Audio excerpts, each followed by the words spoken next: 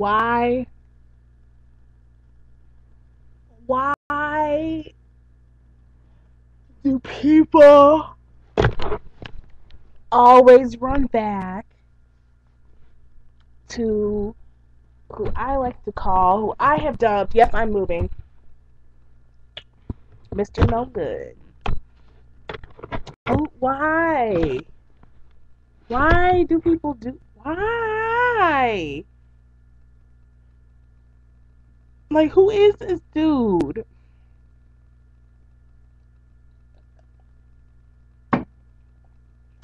You can't meet somebody and get all now I'm not saying you can't get extra attached. You can't have feelings. You can't help that stuff. You can't help, you know, having feelings for somebody. But I am gonna say if this person is not for you and you know it, check yourself out. People do it. Somebody sometimes you like somebody so much. You just like refuse to believe that they like you like somebody so much that you just want to like just smother them with like how much you like them almost and you refuse to believe that they do any wrong like you can't take it. Like you refuse to believe that they are capable of any wrong they do anything wrong. Like you just can't even be in that so therefore you overlook stuff. You pretend you don't see some stuff. But then there comes a point when everybody around you is like, you know, that dude's really fucked up, and you probably don't need to be with them. I'm not saying you need to be listening to everybody because sometimes those people don't always have your best interest in mind, or they're just outsiders looking in, so they don't really know. But I am saying, think about it, and you always know when you just with somebody just to fucking be with them. Like you just don't even need that person. Like the fuck, you like I just cannot, and I've done it, but I just cannot go back to them again. Like that is I cannot physically be with Mr. No Good ever again. There's always somebody. There's going to be at least two in your life, but there's always somebody. You just Mr. No Good, like people run back to Mr. No Good or Mrs. No Good because there's plenty of those too. Depends on your orientation or whatever you're into. But there's Mr. and Mrs. No Goods out here all the time. There's always that bitch that you know is no good for you, but you continue to talk to her ass and and try and make it work. I don't know why. And there's always that dude that you know you have no business around, but for some reason you just continue making excuses to see them, continue making excuses to talk to them, and you understand my CDs are in his car. That's like what Dane Cook says. He's talking about people need to break up and they don't. Girl, you understand my CDs are in his car. The fuck?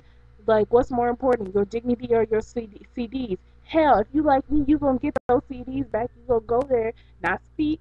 You be like, listen, I need to get my CDs. Go in, get the CDs, and leave. And that's the last time you ever see their bitch ass. Like, I would never. I just cannot. I'm not allowing myself to do that. And like, when you keep going back to somebody who's no good for you, you have to really look at your self esteem and like, where you at? Like, how how how are you really doing? Like, and you know it's no good to be with them. Like, how are you really? Like, how are you doing? Because it's just not right to go back with somebody who just obviously doesn't have like what you need. Like, what's your self esteem looking like that you can go back to somebody like that? Like, you don't want to disrespect yourself by going to somebody. When you when you choose a mate or when you try to choose a mate, don't you want to be with somebody who's like a, a proper reflection of your taste and you, and therefore you want to be a proper reflection of theirs? While Mr. No Good is probably not a proper reflection of your taste, and I don't care if he's good on Tuesdays. Well, there's always those bunch of other days where he's not good. I don't care if it, when it's good is good and when it's bad is bad. Who wants to be in a relationship like that? I want to be in a relationship when it's good is good, when it have bad moments, we get over them and we're good, or we're okay, or we're mediocre. I don't want these highs and these lows.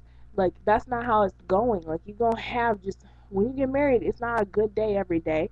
You gotta live with that person and deal with their issues. So it's just gonna be mellow sometimes. Like you're gonna love somebody to death every single day. I don't.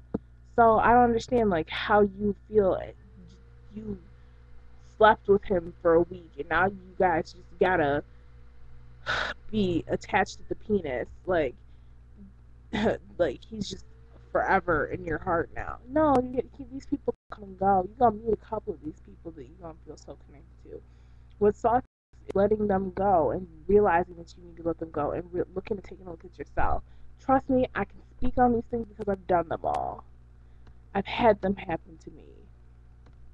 I learn from other people's mistakes.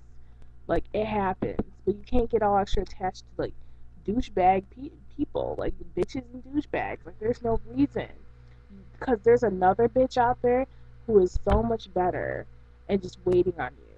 There's another guy out there so much better and waiting on you. Or maybe he's not better, but he but but there's somebody else.